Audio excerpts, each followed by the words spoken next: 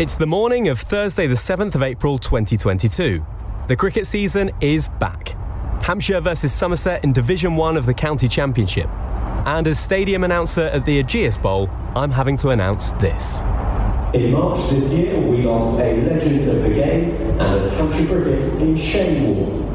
Warne took 708 test wickets for Australia and captained Hampshire in the mid 2000s, helping the club to promotion and changing the way the game was played. We ask you to cast your eyes to the big screen now as Hampshire cricket pay tribute to one of the club's favourite sons, Shane Warne. Shane Warne, a man who changed the game of cricket forever, who revolutionised the way the game was played, who thought about the game in a way never seen before a man who was also cricket's biggest rock star.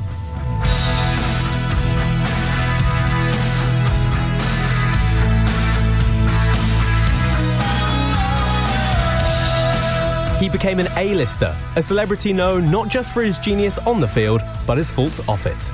A man who combined making international batters around the world look like they were playing a village game on a hangover with being hungover himself.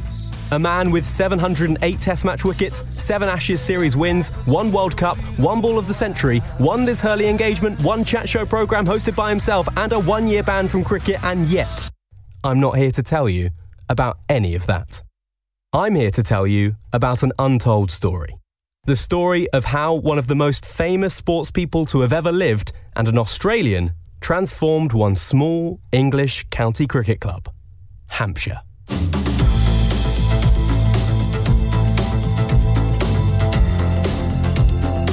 I would never have played Test match cricket for England if it wasn't for Shane Warne. If it wasn't for Warney, I wouldn't have achieved what I did and, and live the life that I have as well. And I said, Are you well going to come and play for Hampshire or are you not?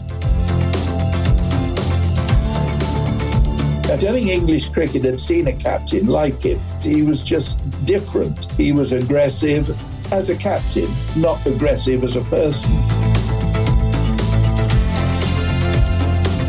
Said he introduced himself and said, Hi, Shaun, I'm Shane. I thought, I know you are. we didn't win anything for 13 years. And then Warney's been captain for two years and we won promotion, finished runners up in the championship, and won a Lord's final.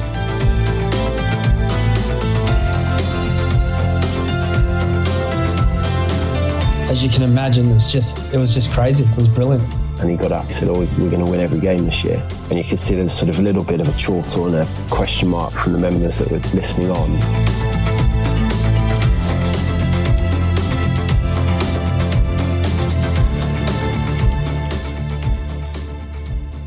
I'm Robbie James, a presenter, a broadcaster, and a stadium announcer.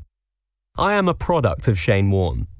The story I'm about to tell you resulted in me becoming obsessed with cricket before I'd hit double figures. And the back end to that story resulted in me doing something I hadn't done for around six years calling my dad. Before any of that, though, let's go right back to the start.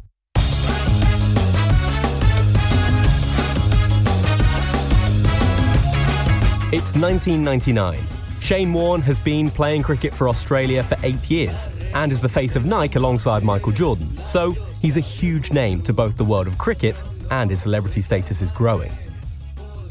On the other side of the world, though, Hampshire are battling away in the County Championship, the main domestic cricket league in England and Wales. Hampshire are trying to finish in the top half of the table, which will see them participate in Division 1 the following year. I say they were battling away were they actually battling? Here's the chairman at the time, Brian Ford. I suppose we were doing what we usually do in those days, which was bumbling along, having some good days, having some bad days. We were at Northlands Road, of course, at the old ground. We were a club that, in many ways, summed up the state of the ground, which needed a lot doing to it. And the team needed a bit doing to it. We didn't have much money, and we were doing what we could with what we had doing what they could with what they had. Well, they had Robin Smith, a fine England batter known as the Judge. He resembled a judge when he grew his hair long. It's no more cryptic than that. Smith had formed a relationship with Warne. I know Shane had been keen to come over to England to have a to have a season. Between Robin Smith and Tony Baker, who was chief exec at the time, and possibly Mark Nicholas may have got involved. Some contact was made with Shane and his representatives. We knew he was interested in coming to England, but whether he'd be interested in coming to us and whether it might be at a figure that by emptying everybody's pockets and so on, we could actually manage to afford it. Now, we should say at this point that in English county cricket, you're allowed two overseas players in your team, and they're usually good players, but not necessarily this good. Anyway, so this sounds promising. Hampshire had a man on the ground who had a relationship with A, one of the greatest bowlers to have ever played the game, and B, that bowler was keen to come and play in England. We were negotiating terms and so on, including airfares, accommodation, and everything else, apart from salary during sort of late April and May 99. But there was a problem. The more famous you are, the more you have other people to do things for you. It wasn't a quick one. He had two agents, one in the UK and one in Australia. And we had the feeling that neither of them talked to the other. And I'm not sure how much they talked to Shane either. So it was all a bit tortuous in terms of getting any answers, getting anything definite. It went sort of long periods without much contact and so on, which would normally in negotiations would suggest that they were talking to somebody else. And we couldn't at that stage talk to Shane himself because he kept saying, he said, You've got to talk to him. He's dealing with everything. It's nothing to do with me. I'm I'm just doing what I'm told, which would be the first time in his life and it was it was it was getting very frustrating to everybody in the office because we were worried that having made the contact, we thought we were in danger of losing it. Those pesky agents, eh? So Hampshire had a situation. They're a club with very little money, which makes it even more ridiculous that they're trying to sign one of the biggest stars of the sport. So sponsorship was going to be the only way to actually pay for Warne. Now, I'm no businessman, but even I know that you're not really going to throw a load of money at a sports club who might sign one of the greatest cricketers of all time. You need evidence. You need a signed contract. So Hampshire needed this done. They needed to inject some energy into the deal. Hey, Brian Ford? I got an invitation to a reception in early June at Buckingham Palace for all the teams participating in the 99 World Cup. And I said to Tony Baker, I said, "Do you mind if I if I can find Shane Warne at this do? Can I see if I can break this deadlock of going round in circles with agents?" And he said, "Well, as long as you don't foul it up, because he said you won't be terribly popular if you do." Now, feel free to let me know if I'm getting a bit carried away, but this is starting to feel like something out of James Bond. Pierce Brosnan needs to try and meet the target off guard in a casino in Montenegro something Warne would have loved given his post cricket poker career. But alas, he has to settle for the home of Her Majesty the Queen. So, to Buckingham Palace we go. I set off to try and find the Australian team. I'd never met Shane Warne. I found him, and there was a moment when he wasn't deep in conversation. And I went out, I just put my arm round his neck and said, You don't know me. He introduced who I was. And I said, Are you well going to come and play for Hampshire or are you not?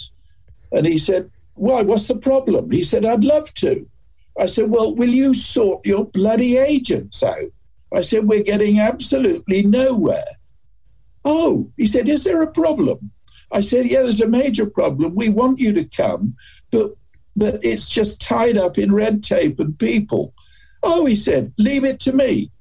I got home the next day and I got a phone call from Tony Baker saying, What did you say? I said, Why? Is there a problem? He said, No, far from it. We seem to be all systems go.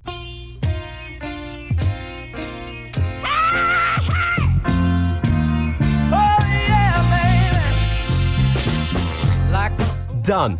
Now feels like the time to play Rule Britannia, but I prefer Stevie Wonder. Admittedly, it didn't quite end like a Bond film, but they got him. Warne went on to sign, still and deliver, a one year contract to come and join Hampshire for the season of 2000. Sponsors would fork out what they could to pay for it, Hampshire would hopefully finish in the top half of the table, and play that valuable season with Warne in Division 1. Now, Hampshire at the time was run as a members club. Voluntary members would form the board and they'd vote as to who to sign and what to do with the club so by no means was this a professional setup. But given the extraordinary process of trying to sign Warne in the first place, this had been kept secret even to the majority of Hampshire's board members. This was a bigger deal. Literally, this was Warne. So the likes of Dave Allen, now Hampshire historian and honorary archivist, who was on the committee, was none the wiser until the morning of the 17th of September 1999, Hampshire's final county championship match of the season, away at Derby on the Friday morning, I was really surprised that the local press guys from the Echo and the Portsmouth News and one or two others were there because it was a football season. You know, it was September, and you think, well, it, it, these guys are busy in other things. Why have they come to Derby? You know, even though it's quite an important game. And the reason they come to Derby was that they'd got the heads up that Hampshire were about to announce the signing of Shane Warne. And I knew nothing about it. So I'm a committee bloke wandering around at Derby having my cup of coffee in the committee room. And suddenly the news comes out. it seemed quite exciting, really.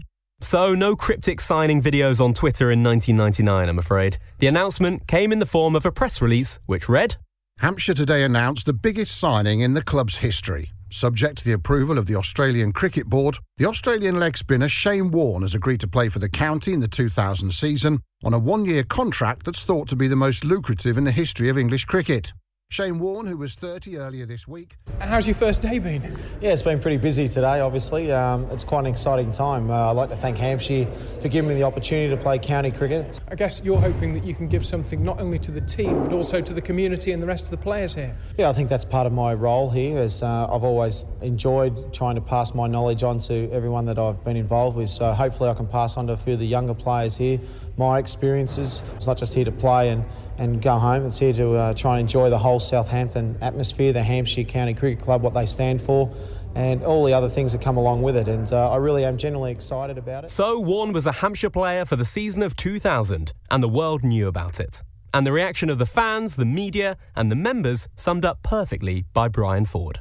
Hampshire, Shane Warne, you know, Little Hampshire. And I think that was the reaction of a lot of people saying, you know, they are serious. Well, it's been just about the most frantic day in Hampshire County Cricket Club's history. Shane Warne. So, SKW, middle name Keith if you're interested, arrived in May of that year, and to Brian at least, it became very clear very quickly who exactly it was that they'd signed. Tim Tremlett and I went up to Heathrow to meet him. Shane Warne came through. Uh, we met him with his then wife and the kids and we're heading off to Tim Tremlett's car. And we get into the car park, and Warney just pulled me on one side. And he said, uh, Chairman, he said, uh, this won't be the last favour I ask this year. He said, I know there'll be a few more. But he said, Do you mind just keeping watch uh, while I hide a minute? I said, Yes, okay, fine. I said, Is there a problem? Well, he said, um, being given a bit of money by this company that's marketing this stop smoking remedy, and I'm desperate for a fag. Ah, yes, that well known duo, Shane Warne and cigarettes. A sign of things to come then. Oh, this is going to be fun. And as for the reaction from players, they felt a new lease of life. Swings now, is a bold? Yes, he is! Reuter's gone! Bold, he's trying to play across the line again. You do that against Mascarenhas at your peril. Reuter's just found that out. He's gone for seven. 34 Dimi Mascarenhas was a Hampshire all rounder who went on to become one of Shane Warne's great friends. So much so, he spoke at his state memorial in Melbourne. He was one of the members of the squad when Warne signed. At that time, you know, we weren't the greatest team going around. We were just, you know, hovering in the in the lower half of the table and winning the odd game, and you know, just just cruising along. A lot of us thought, wow, you know, how good's it going to be? You know, he's going to come in here and win us all these games, and and when he eventually got here, it was just, um, yeah, it was phenomenal. Just staff, players, staff, admin, fans. As you can imagine, it was just, it was just crazy. It was brilliant. Win us all these games no pressure then, Shane. Welcome to Hampshire. You're the key to our hearts and dreams. That okay? I just said to Judge, I was a bit nervous walking into the change rooms just before all the guys there, and it's it was a bit intimidating walking in and uh, meeting the, your teammates for the next six months. But it's quite exciting too. There's um, a side of me that, uh, I, as I've always said throughout my whole career, I, I always love a challenge. Interesting though, speaking to Brian Ford. To the management at Hampshire, it maybe didn't feel like this would be much more than a one year fling.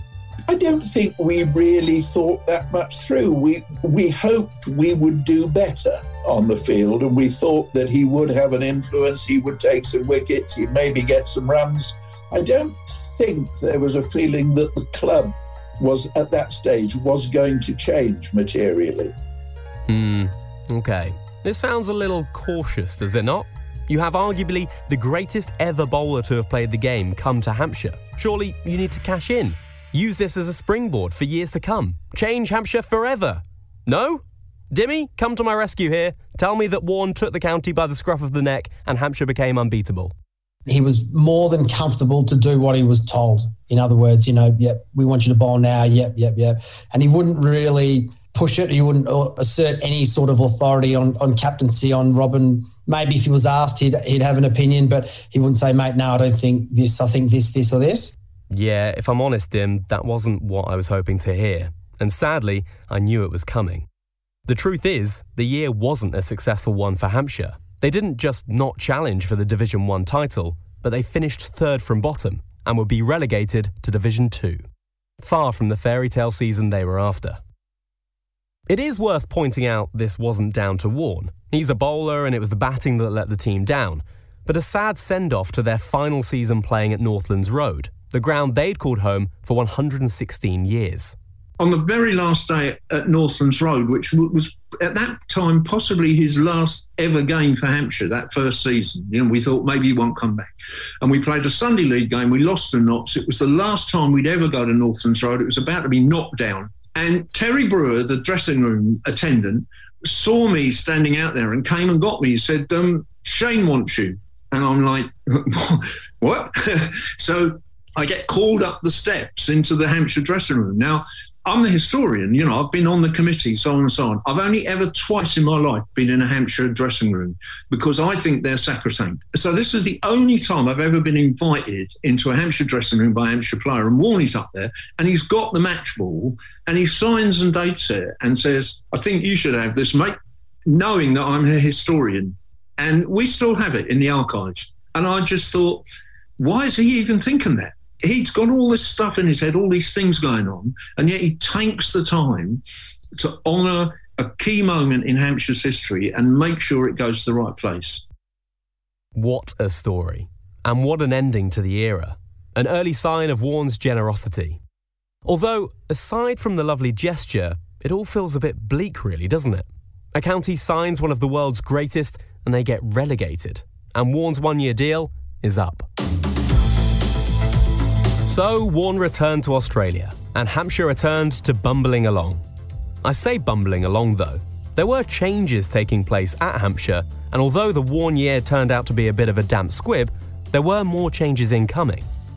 The reason for leaving Northlands Road, a brand spanking new venue with international potential awaited them within a Southampton suburb. Introducing the Rose Bowl. It was an important day for the club. They hope the Rose Bowl will one day become a test ground. Another step on the ladder that looks just as good as the previous one did. Hampshire's first team will move from Northlands Road for the start of next season. But hang on, a new ground? For a club that has just spent any money they did have on signing Shane Warne for a year only to be relegated? The money for this couldn't be coming from sponsors. So where was it coming from? Cue the arrival of a successful businessman and entrepreneur with a plan. Rod Bransgrove had come in on the committee in the late 1990s. Um, he became the man who effectively rescued Hampshire County Cricket Club, as it was then, um, a members club. Uh, effectively rescued us from bankruptcy, really. But in doing so, he established what I guess you would call a much more professionalised setup. So I mentioned Bransgrove had a plan, he also had money, and a lot of it. Not only that, Rod was a big Hampshire fan and had good relationships with the players, namely Robin Smith, and that's worth remembering for later. So, what were his thoughts on um, lending a hand? I realised, of course, that the, the business was pretty much insolvent. I had a, a, major victory with a pharmaceutical company, made a few bob, and um, and thought, well, you know, I'll try and help out here, but but if I'm going to do it, we're going to have to structure this and, and run it as a, as a business rather than a sort of unincorporated members club with part time volunteers. And run it like a proper business he did. Money was pumped into the development of the Rose Bowl, Bransgrove introduced a board of directors, and on May the 2nd, 2001, the Rose Bowl was ready to host its very first county match. And what happened? It rained and the match got abandoned without a ball being bowled. Cricket. It wasn't all bad though. Hampshire finished second in Division 2 of the county championship and were promoted to Division 1 for the 2002 season. So despite a rollercoaster of the last few years, things were starting to look up. New ground? Tick. New ownership? Tick. Promotion? Tick. But almost everything in this story so far seems to be short lived, and things were about to require a shake up, or a bowling change was needed. 2002 wasn't smooth for Hampshire. It was the year of another relegation from the Championship. So, in the three seasons, they'd been relegated, promoted, and then relegated again. Someone please remove the yo yo from their hands. Not only were Hampshire struggling when it came to results on the field, but they were also entering a transition phase with regards to the squad. And one man who was beginning to come towards the end of his playing career was Robin Smith. Hampshire, therefore, needed a new start and a new captain. Now, remember how I told you to remember that Rod Bransgrove was especially close with Robin Smith? And if you've been listening really closely to this so far, you'll remember Robin Smith was also close to Warne. And yep, you guessed it, Rod and Shane therefore became close too.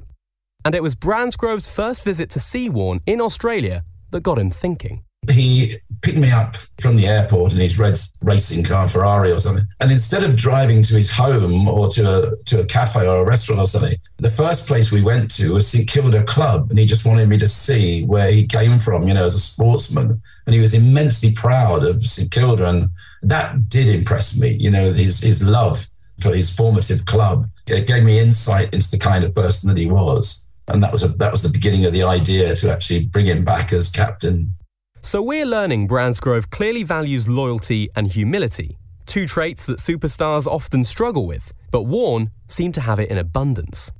So would this idea actually work? Warne had already come to Hampshire for a season, and Hampshire got relegated. Why do it again? What will be different about it this time? Next, you're going to hear from a few names from Rod Bransgrove. So here comes some background on them in my best mission commander voice. This sounds like a bit of a mission after all. Giles White, Hampshire batter in his last season before retiring. Tim Tremlett, former Hampshire all rounder, now director of cricket.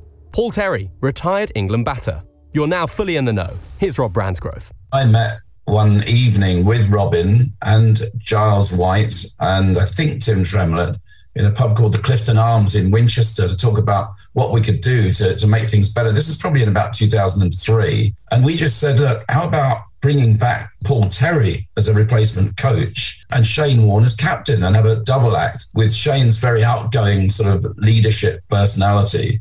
Paul's a very laid back person and quite happy to work in, in the background. We thought they'd be really good for each other and both kind of legends in their own way.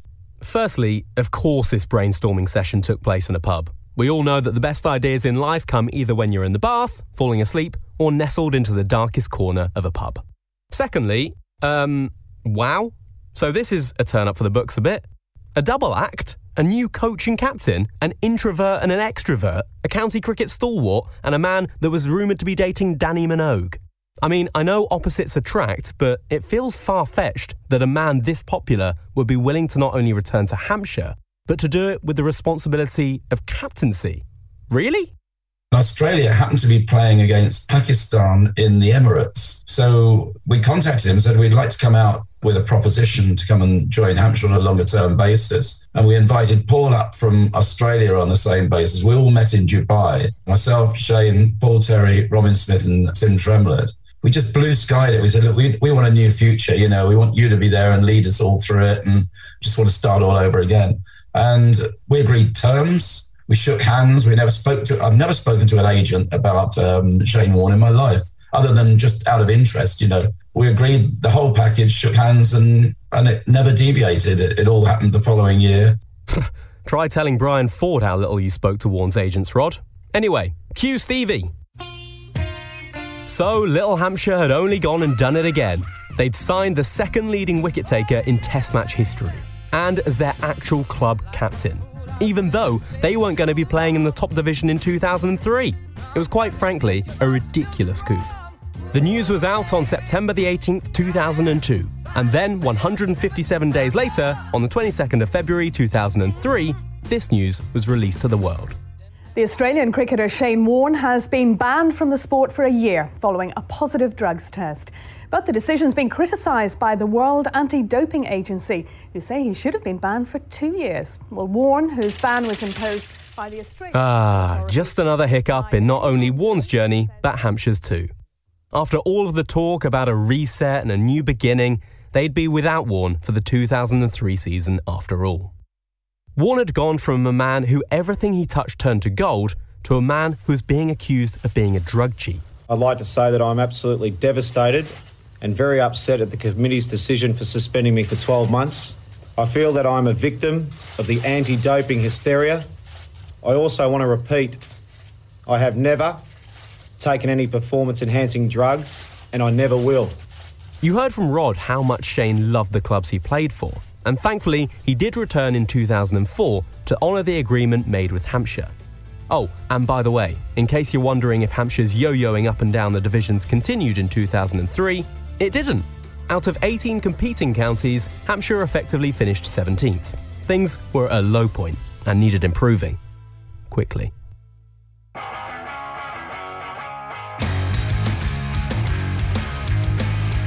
Roll on 2004. The Facebook, as it was originally called, has been launched, The Incredibles was released, and Shane Warne finally returns to Hampshire, this time as club captain alongside new head coach Paul Terry. At one stage, Warney had asked me who was actually ultimately in charge if he and Paul disagreed on something. And I said, well, you know, Paul's the manager. It's, it's probably Paul, really, although he probably wouldn't want you to do anything you didn't want to do. But I'd say he's probably the boss. And I'm pretty sure he turned away and said, well, we'll see about that. His first over went for six. Gale to face and uh, tries to swing away. Is he There it bowled? is. Yes, he has. Well, Mascarenhas has done it again with an injured shoulder. Dimi Mascarenhas got his first real taste of Warne when they had to make the longest trip a Hampshire cricketer can make in a season the trip from Southampton to Durham. I remember the first away trip back in those days, we travelled in cars, and I travelled with him that game.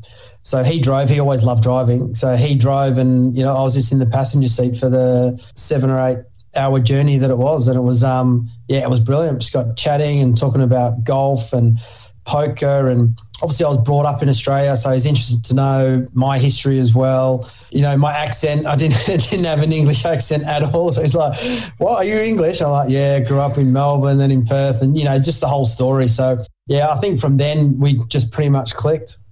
That's nice, isn't it? It's also, I imagine, a massive relief because you don't really want to discover you don't get on with someone when you're in a car with them travelling from Southampton to Durham. His standards won't drop. His commitment to Hampshire will be the same as it is for Australia. Um, and I just can't wait to bowl at the other end to him tomorrow.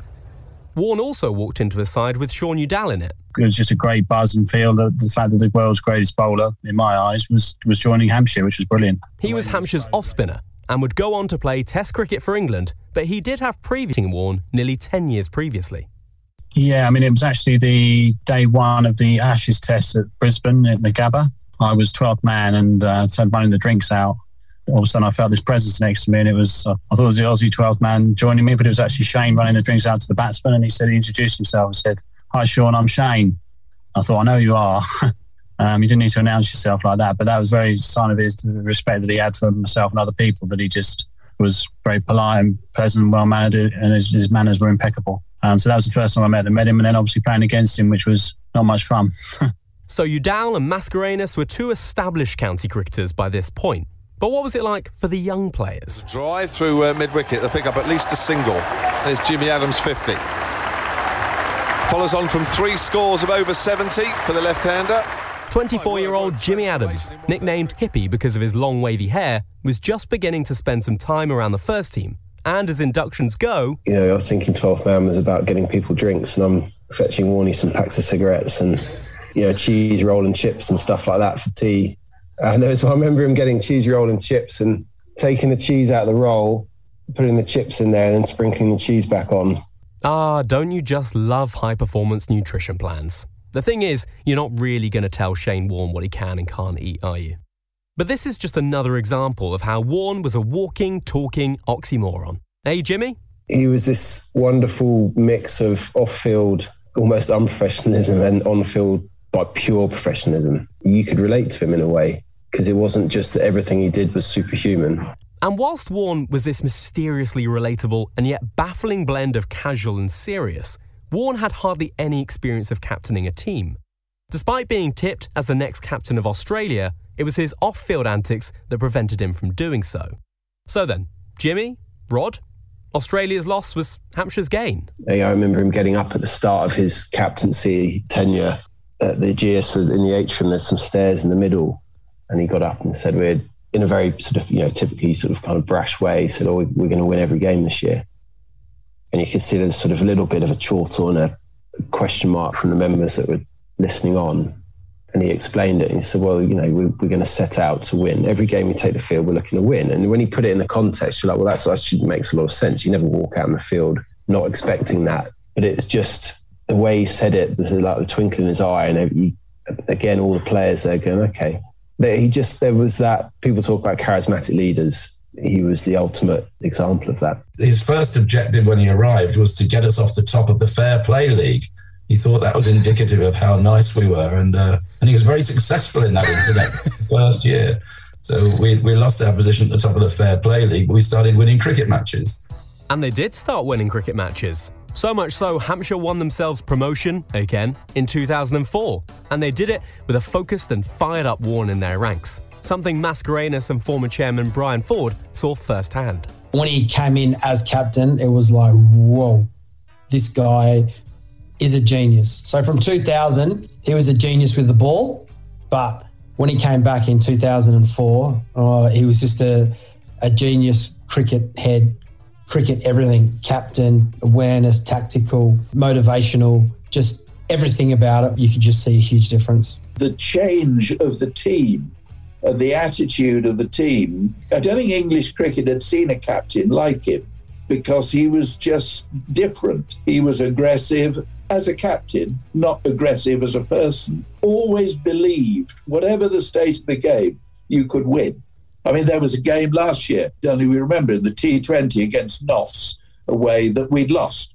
We'd lost, absolute no way. And we did a Warney we just conjured a win out of nothing at all. If you're unaware of the game versus Notts in 2021 that Brian mentioned there, look it up. It's one for the ages. Okay, this is fine, but what was it that made Hampshire a force all of a sudden?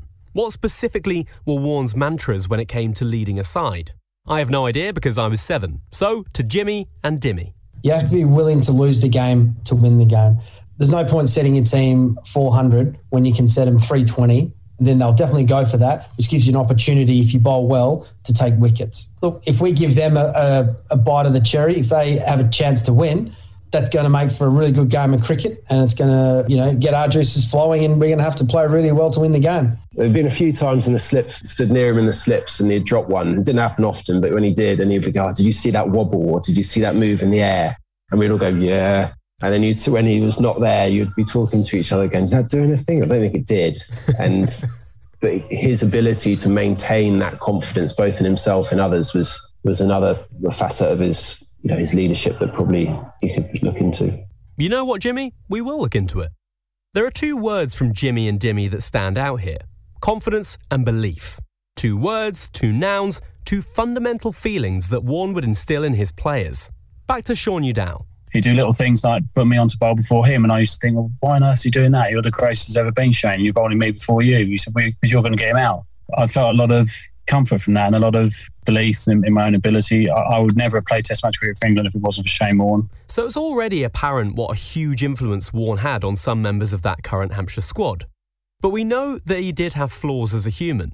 By this point, he's been involved in betting scandals, bans, and featured in numerous tabloid stories about his sex life. But he wasn't everyone's cup of tea on the pitch either. It was about cultural change. It was about players who either were capable of doing it or not. He could be a bit tough on one or two, but there were one or two people he gave a bit of a hard time to, and one or two who went as a consequence, and one or two who battled it out and then afterwards came through quite successfully. Yeah, certainly some guys found that hard because he could be a t- hard taskmaster, but that was just because he was striving for the best for everyone. How did you find it? After the initial little bit of a shock to the system, I, I found it brilliant. I think once I got over the, I suppose the aura, and probably realised that he was batting for me. You know, he wanted he wanted me to do well. Then it was great. It was all in. And I also remember fielding. I had to run after a ball, and I, I had half spikes on. I don't know. I think at the time I thought it was the the in thing was to have these half spikes, not wear full ones. And and I went to put the brakes on and slipped, and mentioned getting a fair, a kind reminder, or certainly a very urgent reminder that I needed to wear full spikes whenever I fielded, etc. etc. Now, of course, Warne was still playing for Australia at the time he was with Hampshire, so he brought in a fellow Australian in his place when he was away. Trotty's out, run out by Shane Watson, a brilliant bit of fielding. And these Hampshire Aussies have had a huge impact in the last few minutes. Bickle's taken two wickets. Watson's now. Shane Watson, who was mentored by Warne, was brought into the club. So let's start with the impact Shane had on you coming over to Hampshire. Were there conversations? How much of a role did he play in, in you coming over?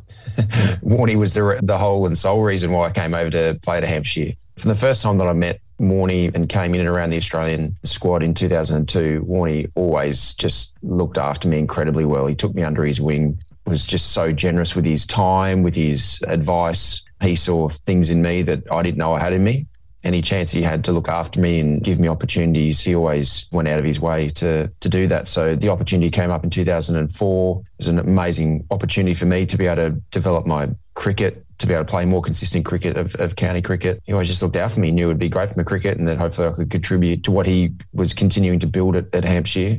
This man's influence is just mad, isn't it? Not only is Warne the reason why fellow Australians are coming to ply their trade in England, but he was also completely transforming the way opponents viewed Hampshire. A lot of the times they weren't playing against Hampshire, happy Hampshire as we were known. They were like playing against Shane Warne. Oh no, we can't set them this much, or no, we can't chase that much because they've got Warney, or they've got Warney, so we've got to get runs now before Warney gets on. So just his presence helped us a lot, helped all of us, to be honest, not just in the way he went about taking wickets and making his runs. He just lifted all of us as a group as individual players as well, made us better.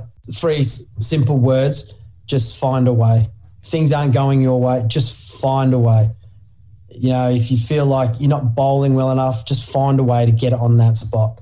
If you're not making runs, just bust a gut, find a way, whatever it is. Ugly runs, ugly hundreds are the best hundreds. Yeah, anyone that knows him will know that he, he said that a lot. And find a way he so often did. Not only with Hampshire, of course, but with Australia.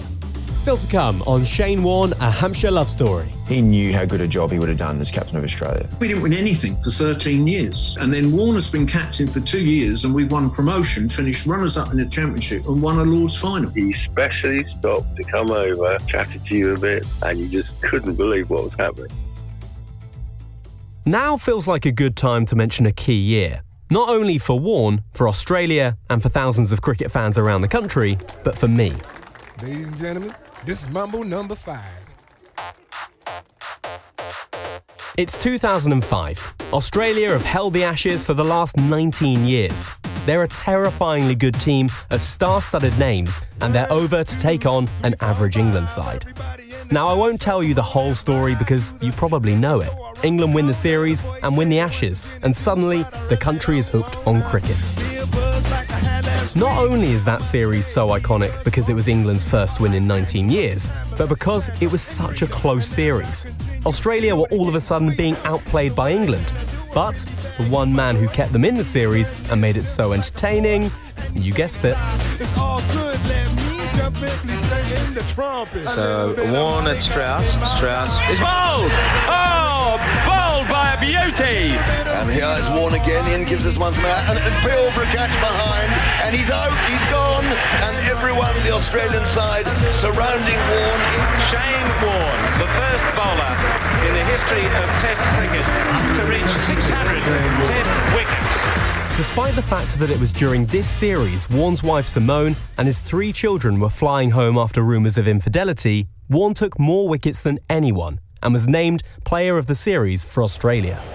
Crane in again. Down the way comes the ball. He's. Stumped. A wicket. A wicket for Mason Crane, his first wicket in Test cricket, and he's bamboozled Khawaja there. Khawaja decided... It was this entertainment that inspired me, and also now Hampshire and England leg spinner Mason Crane not from a cricket family, so I didn't know much about cricket, but soon after, I, I did want to obviously uh, start playing, and my mum took me along to to this sort of cricket thing, and and we sort of realised pretty quickly that I bowled leg spin, and yeah, I guess that was just from watching Warne, and that's sort of what I always bowled from straight away. Really, he was the biggest influence, and then obviously, I, I, like a lot of people, I had the the, uh, the the box set, so I went back and watched that hundred million times, and yeah, I guess always trying to watch Warne really. It was just exciting and you know, it was entertaining and obviously he was unbelievable as well. Watching someone spin the ball that far was really cool and that's what you try and emulate really. So the 2005 Ashes came and went, and cricket in England was reformed. Here's something I'm curious about though. Why was it that Warne was so keen to go from playing in one of the most iconic sporting series of the last 50 years to then go and play for Hampshire in the back end of the English summer, where, let's face it, it's often Baltic? What did he get out of playing for Hampshire? Shane Watson spent a lot of time speaking to him, and Jimmy Adams spent a lot of time playing with him. He knew how good a job he would have done as captain of Australia because he was just he was a great leader, tactically a person to inspire the team around him and, and individuals around him. He knew how good he was deep down, and so Hampshire was really a way to fill that void that was in his life and in his cricket life that he missed out on playing for Australia. So he gave so much to Hampshire and everyone around the team and the squad and just all the supporters and everyone just got so much out of it. For, but from Warnie's own selfish point of view, he got so much out of it as well. I sense that initially there was an element of frustration he was going from that Australian side, arguably the greatest side ever, to playing with a county team with some really good players, but then having probably having the realization that there was a few youngsters that, that needed some help and a few slightly more sort of, I suppose, journeyman county players that weren't your typical McGraths and Gillespies, etc. And I think once he got his head around that, that was his his real strength as a leader. I suppose it does make sense, doesn't it? We all have our little side hustle projects, something to get our teeth stuck into. Not to discredit Hampshire, but county championship and test match cricket are chalk and cheese. Sandwiches. Cheese sandwiches. I'm not complaining though.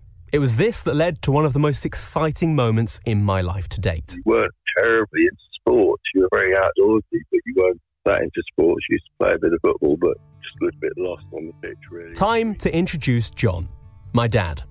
Someone I love dearly, but until March 2022, hadn't been a part of my life for nearly a decade. But back in 2005, I was lucky that despite my parents splitting up around that time, he was still a part of my life.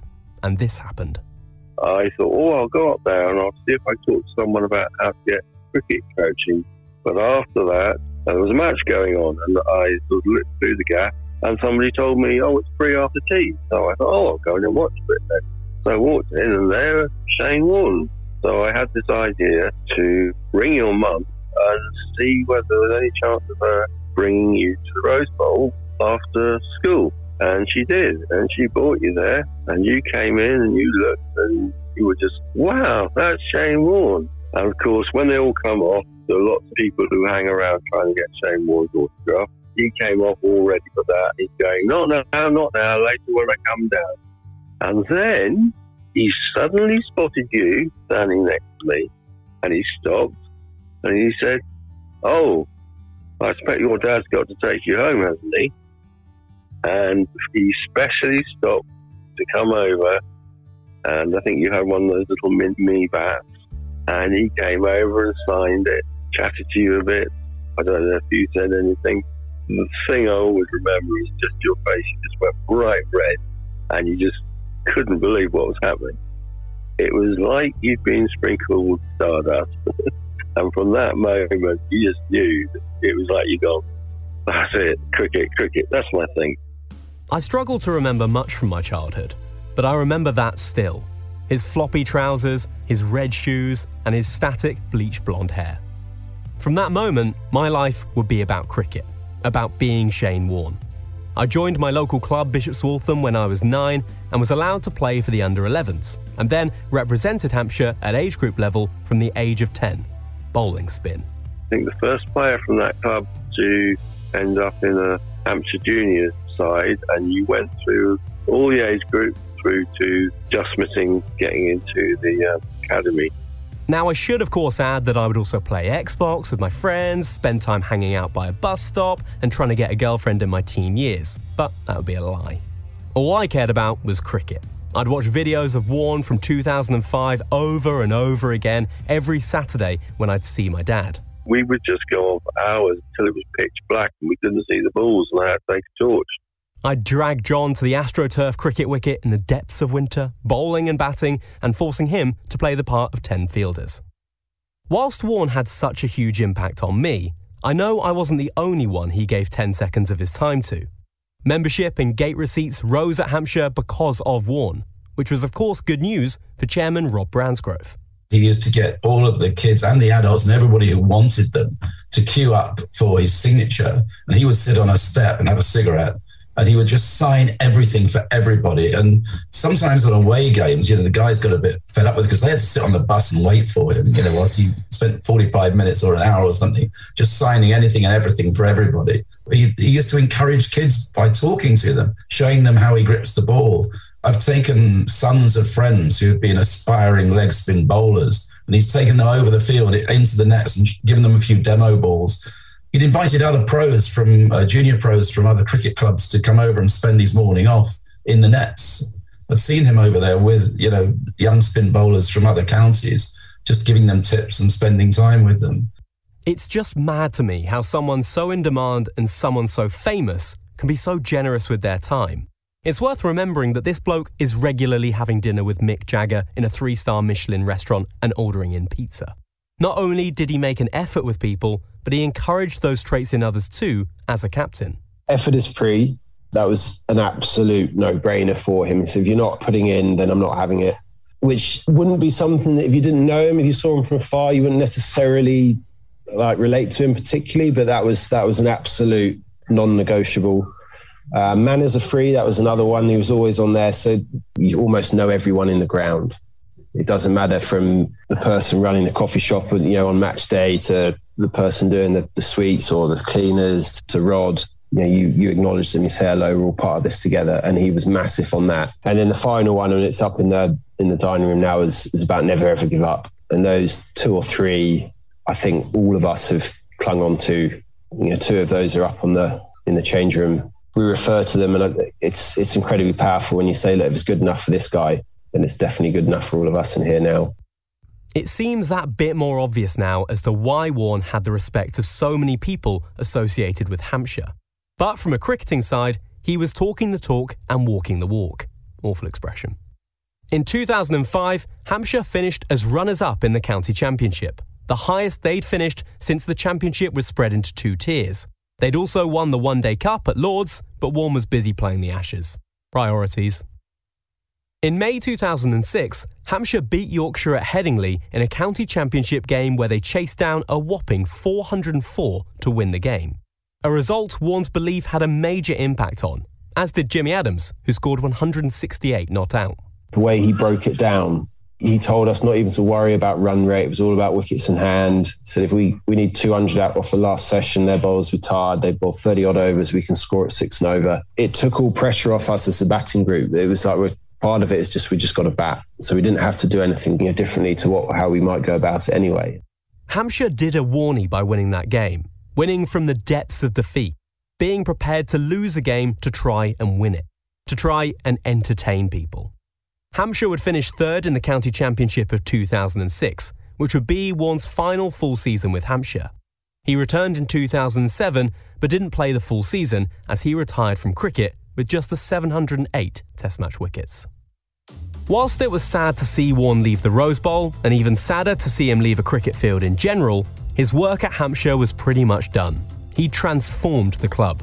Back to Dave Allen we were one of those shire counties that didn't win competitions that often and played on quite modest grounds, you know, in Bournemouth, Basingstoke, Portsmouth, Southampton. Whereas now we're a test match international venue, you know, with a hundred franchise, etc., etc., etc. But there's no doubt that a significant part of that transformation was Shane Warne. In 1992, we won a cup final at Lords, which was the third one in five years or something. And then we didn't win anything for 13 years. And then Warner's been captain for two years, and we've won promotion, finished runners up in the championship, and won a Lords final.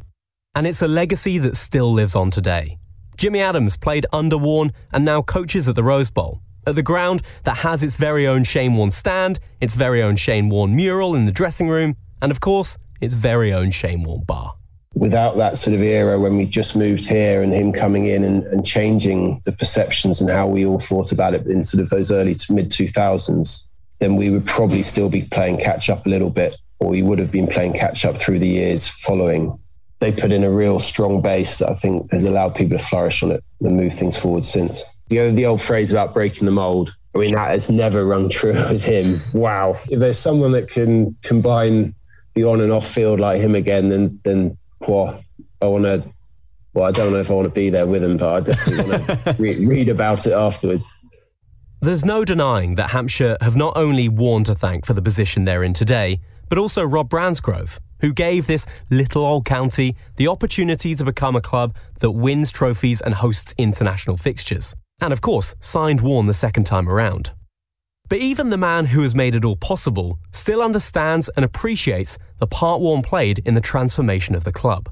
I believe that we're still a very happy club, but I do believe that we're a far more competitive club on the field. So he's left a legacy of never giving up, which was one of his big phrases just never give up, ever, never give up. Effort is never an option. Effort is expected of everybody. It's free, just like manners, actually. These kind of things are embedded in the club's philosophy now. We've heard those mantras from Jimmy Adams already. When Warne spoke, people really listened. Not only was Warne a brilliant captain of Hampshire, hero to all his fans, but he was also immensely loyal.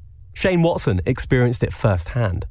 When you've got someone like Shane Warne who just who believes in everything that you can do and a deep belief, what seems like a deep belief, even maybe deep down he might not fully believe it, but that's what he portrays, and it, it's very convincing it just makes you feel, yeah, walk that much taller. So when you go to play, and it's a huge part of, of being at your best as a as a person as a, and as a cricketer in particular. Early in my career with Hampshire, I had some like great performances because of the opportunities, but then also yeah, just the, the belief that Warney always instilled in me. The word that always seems to come up when we hear about you talking about Warney is is mentor.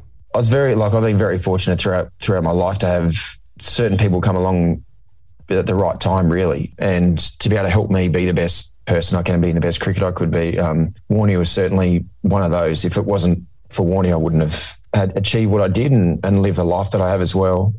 It's worth remembering that Watson has captained Australia. He was the highest paid non Indian cricketer in the world for five consecutive years. Shaun Udal said he wouldn't have even played Test match cricket if it wasn't for Warne, an influence that spanned long after he stopped playing too. Udal was diagnosed with Parkinson's disease back in 2019 and was still on the receiving end of Warne's kindness throughout the last few years. He came to open my factory in, in Basingstoke that I work at, um, which was great of him. Any any time we had a charity golf day, my son is unfortunately autistic, so he, we used to organise some golf days. He used to take a team, come and play, come and speak, come and pay to play, uh, come and speak at the events. We stayed in touch as friends. Whenever he was over, we got together and text each other when he wasn't around. I need to text him a few days before his sad passing, so we were still in contact even up to the up to the sad occasion of his death. So you know, it's, it's weird not having him around because you just text him anytime and he'd always reply. You know, just for a little bit of advice or a bit of help. I obviously had my issues with Parkinson's in the last couple of years. He's been a great support and just a, he used to pick me up when I was down and I was down a lot in the last couple of years. He used to just just one little text, one little phone call, one little WhatsApp message would brighten your day. Now, we'd need to add on about another six hours to this if I were to go through all the people Warne picked up when they were down, but due to the unique way the BBC is funded, we do not have the budget for that. Warne's dedication to growing the game didn't stop when he retired from playing, though. Mason Crane comes in from the pavilion end. Over to advances, he stumps! Mason Crane floated it up outside the off stump, and Crane picks up a wicket. Mason Crane was a part of the London Spirit side that Shane Warne coached in 2021 in the men's 100 competition. Picture this you're being coached by the same person who inspired you to play the game that is now your professional career. And then you have an experience like this.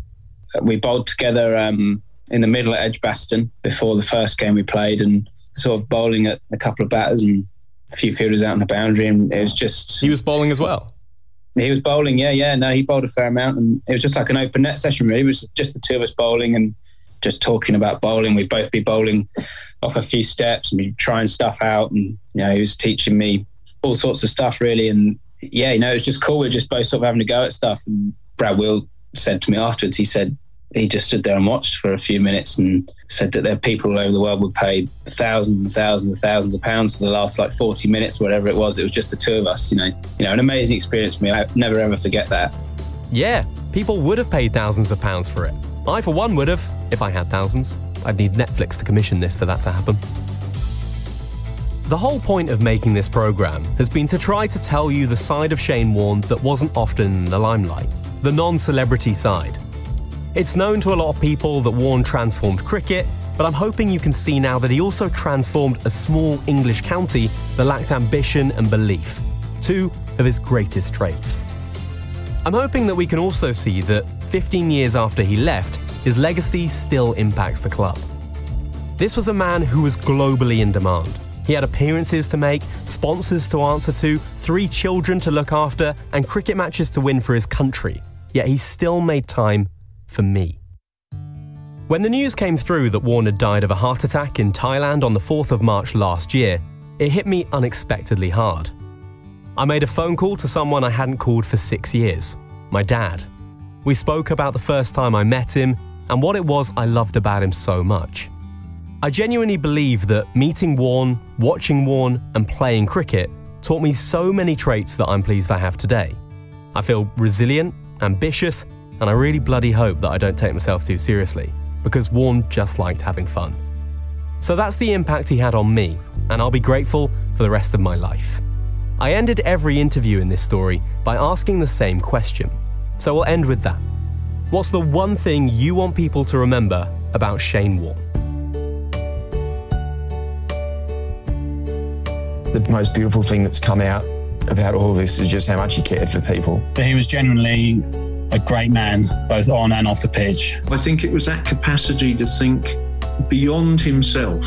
If people realise quite how much he loved the game, you know, imagine he may be done with cricket and he can live the rest of his life, but you know, he wasn't. He was absolutely in love with the game and he always wanted to learn about the game. The impact that he had on like so many people's lives, that thousands and thousands of people who Warney had the same impact on their life as well. And that's a pretty amazing legacy to leave behind.